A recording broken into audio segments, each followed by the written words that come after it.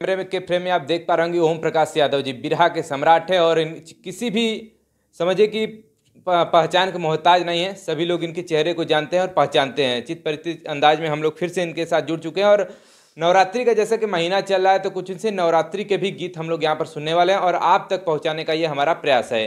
और कोई अगर नवरात्रि का गीत हो जो आपके बड़ा प्रचलन में है उस गीत को जो है हाँ। जी। बहुत प्रचलन में था। मैया तोरे द्वार पर।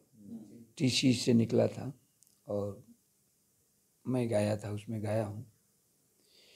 कि ऊँचे पहाड़वा ऊपरा माई के बसेरवा हो कि ऊपराना मैया मोरी करेली अहेरिया हो कि ताही ऊपराना शुभ निशुंभ के माई खूबे संघरली हो कि ताही ऊपराना मैया मोरी कटली गर दनिया हो कि ताही ऊपराना मैया मोरी कटली गर दनिया हो कि ताही ऊपराना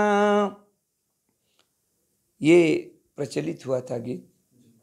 और कब ये आपने लॉन्च किया था गाना? कब ये आया था? किस सन में? ये करीब करीब आज से दस वर्ष पहले।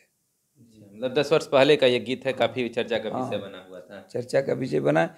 और एक और गीत चर्चा का विषय बना।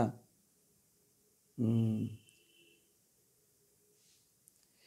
यही साल बाढ़ से दूसरे सुखार से यही साल बाढ़ से दूसरे सुखार से। लोग मरता ए माई। ये गीत भी बहुत चर्चा में हुआ था और वेब कंपनी से गाया था। और इस साल भी एक गीत गाए हैं वीडियो वो होने जा रहा है। तो, गीत रिलीज़ हो रहा है।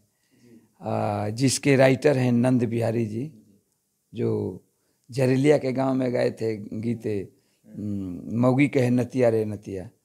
तो बहुत हिट हुआ था तो वही लिखे हैं। तो उन्हीं का ये गीत है जो भगवती के पास नवरात्र लगता है तो लोग सूखा लोग जाते हैं, खिलाते हैं और लोग खेलती हैं, भूत दूत।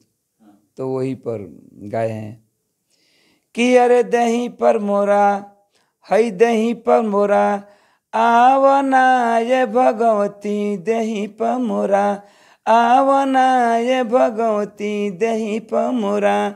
हाकिन डाकिन चुरैल बामत, हाकिन डाकिन चुरैल बामत, देल बिया चुनवती दही पमुरा।